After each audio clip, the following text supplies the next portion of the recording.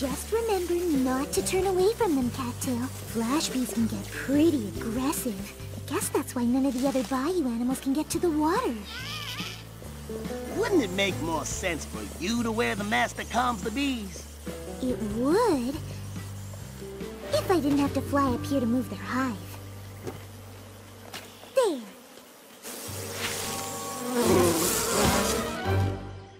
Now the other bayou creatures can get to the water without the bees feeling threatened. You know, you didn't have to help with this. I would have lent you the mask anyway.